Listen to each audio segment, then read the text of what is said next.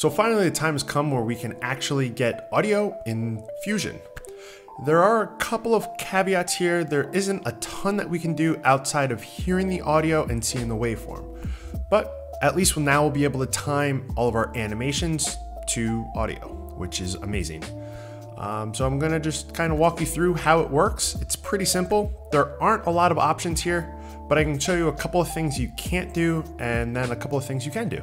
So let's get started. Before we get started, for those who haven't seen my content before, I do have a website that's fully dedicated to everything DaVinci Resolve. You can go there and take a look at a ton of different tutorials I have as well as pre-made assets. All right, so jumping in here, I have two files. The first one here is just going to be a video with no audio, and there's a reason why. And then we'll also add in some audio. Let's say this is the audio for our whole project here. Uh, for now, I'm just going to cut off the end there and jump right into Fusion. So by default, what it's going to do is look for one of two sources, either the video clip audio that is a part of the uh, video file or the audio for the whole timeline. One of those two, and only those two. Um, so by default, if we jump in here and we look at our media in, obviously this is how we get all of our media into Fusion. A part of that is the audio. Clicking on it, we now have this new audio tab uh, within the media in node and we have the ability for a little drop down to pick what exactly we want to have playback. If we have a video track here that has audio, we can play just the audio of that video track, uh, or we can play all of the timeline audio. So this is where we would pick between the two.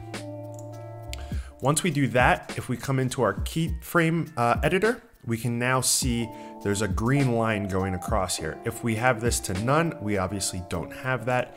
Uh, switching between the two, we then have it. Uh, by default, you're not going to see anything here. What you would have to do is scroll through here. So just clicking and scrolling through, now we see the uh, waveform and we can actually listen to it now. There we are. Uh, if you want to stop, so maybe you're jumping back and forth and you don't want to hear it, uh, you can click right here to mute, um, unmute. There aren't any like volume controls that I'm aware of yet, uh, but that's how you would do that. Uh, as you can tell by default, the waveform is pretty small. You can zoom in and see more of it, but overall the waveform is pretty small. Uh, you can make this waveform a little bit bigger and how you do it is you're going to increase these. This is the same way if you're working on um, keyframes or whatever, it's going to be the same way. And how you do that is you right click in here and then you go to line size. Line size all is the same exact thing, it's just all of the lines, but we just want to see just the left channel here. Uh, or make it bigger. So we have a couple of different sizes that we can go. Let's go huge. And there we go. Now we can see that whole waveform and then properly key up uh, all of our sound or all of our animations to our sounds. That's pretty much how you uh, have audio in there. But there are a couple of things I want you to be aware of. Uh, if I was to add on a different audio track or move this audio track, so as we can see, this audio track, it starts off um, a little softer and then it gets really loud. So what I want to do to just show you how this works is I'm just going to have the loud uh, part going all the way across here, right? So this is all just really loud. It starts off loud. There's a little pause here and it's loud. Now, if I go back over into Fusion, what we see is that the same waveform is here. And if we play this, it's the same audio. Maybe I should turn off my head or the speakers, but it's the same exact audio. And that's not really good. If I was to come back over and let's say we completely remove it and go back in, we still have that audio. So this is something to keep in mind because you might go in and say, okay, I can't do uh, my motion graphics to this let's pop in a different thing, and then all of a sudden uh, it's not working. Or you might be working on a collaborative project and someone might have changed the audio here, but there's nothing to show that it's changed on the Fusion page, which is, I feel like, kind of weird and maybe an oversight. Uh, so, how would you fix this?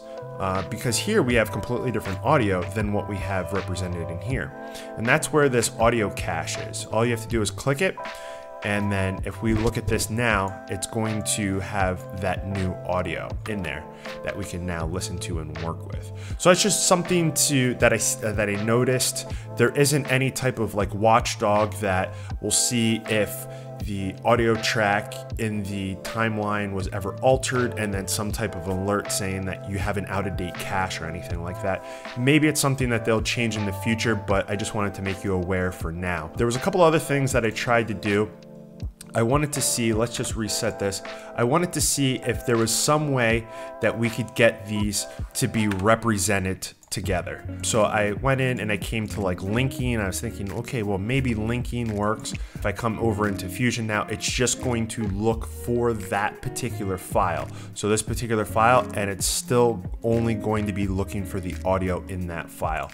The other thing I was thinking about doing is say, let's take both of these and then turn it into a compound clip and maybe that will work because now these are a compound clip, right? They're on another timeline, but here they're looked at as one clip because now we're going to be editing that compound clip in Fusion.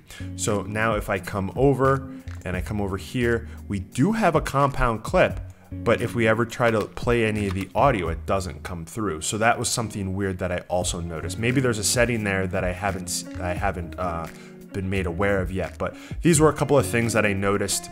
Um, so I just wanted to share them. But that's how you have audio in Fusion. It's not that difficult. It is a uh, absolute delight to now have it in Fusion because now I can show you guys a whole bunch of animations based off of audio and how to put together a bunch of motion graphics with audio. So yeah, that's pretty much audio in Fusion. with that being said, my name's JR. Thanks for watching. We'll see you guys in the next one.